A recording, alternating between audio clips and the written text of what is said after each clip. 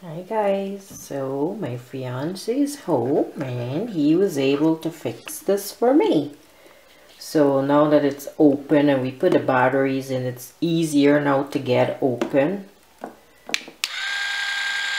at that. It's got two speeds and then uh, you press it off. And then the little button down on the bottom, you just turn it to open it up. If you turn it like down or to the side then this part will open for the battery. So I'm glad that it's fixed because I was gonna have to return it you know?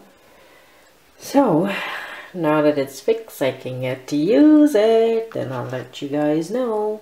Thank God for him right? Or I'd be sending it back. Okay guys just a quick little update Thank you so much for watching. Bye-bye, guys.